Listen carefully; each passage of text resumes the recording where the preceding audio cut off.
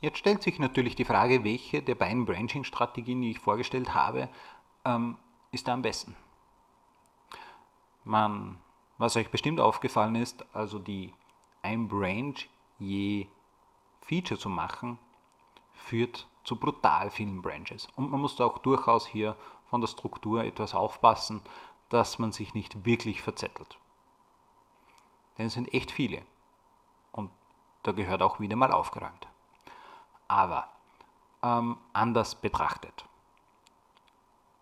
sehen wir uns an, wie wir hier eine Entscheidung treffen können, was denn vielleicht vernünftig ist und was denn die Einflusskriterien sind, ob wir eine Branching-Strategie fahren je Release oder eine Branching-Strategie nach Features. Und dazu gibt es drei Themen, die sehr stark zusammenhängen, nämlich die Features, die Qualität und der Liefertermin. Also wir befinden uns in diesem Fall in einem Spannungsfeld zwischen Qualität, Termin und Feature Set.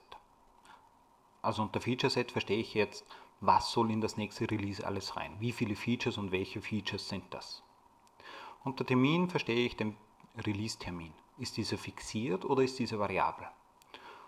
Und Qualität ist so nach dem Motto, na gut, wir wollen nicht, dass unsere Software von Bugs strotzt, sondern natürlich, dass diese einen entsprechenden Qualitätsanspruch hat.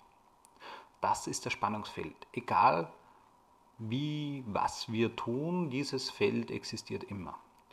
Und wir sollten uns einig sein, über die Qualität sollten wir eigentlich nicht sprechen müssen. Das heißt, wenn wir unsere Branching-Strategien uns überlegen, ist die Frage eigentlich die, wollen wir den Termin fixieren oder die Features? Wenn wir den Termin fixieren, dann empfehle ich die Variante, dass wir Branches je Features machen. Und zwar aus dem einfachen Grund, es gibt dann eine Entscheidung, die sagt, okay, der Release-Termin ist vorhanden. Und die Features, die nicht fertig geworden sind, also absolut fertig, die kommen einfach nicht in den Integration Branch und gehen dafür, daher auch nicht halbfertig online. Es wäre schlecht, hätten wir Features im Integration Branch, die nicht fertig sind, denn diese sind nicht nur buggy, sondern da ist auch sehr viel Source Code, der dann ungetestet ist oder der anderen Source Code beeinflusst und in Summe ist es qualitativ ein Problem.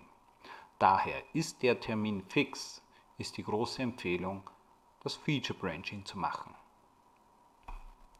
Ist der Termin variabel, aber das Feature Set fix, so nach dem Motto, dass die Version geht erst online, wenn das und das und das und das Feature fertig ist, dann ist das Release Branching alleine auch vorteilhaft. Und zwar deswegen vorteilhaft, weil man weniger Branches hat und weil man dadurch weniger Merge-Aufwand hat, weniger Branching-Aufwand hat und Seiteneffekte schneller merkt.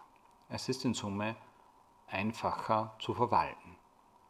Und es ergibt weniger Branches natürlich.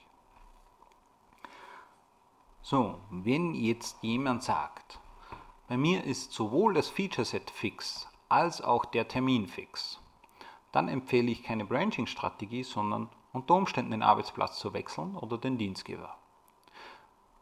Was jetzt automatisch leiden wird, ist die Qualität, die verschwindet. Was steigen wird, sind die Überstunden und was steigen wird, ist sehr viel Missmod.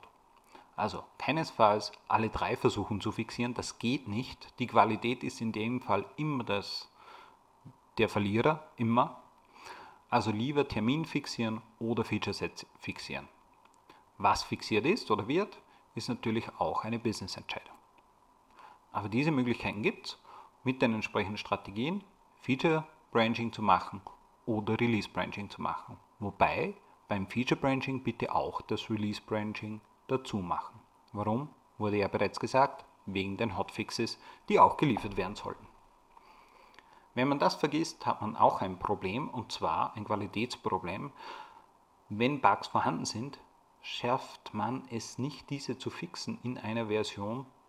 Also man kann die Version beim Kunden nicht fixen immer nur für die nächste. Und wann diese kommt, ist eine gute Frage. Also wenn man da lange Release-Zyklen hat von ein paar Monaten oder Jahren, hat man ein echtes Problem. Gut, ich hoffe, das konnte etwas helfen im Bereich Branching-Strategien und wie man das am besten organisiert. Und wenn es euch gefallen hat, lasst ein Abo da.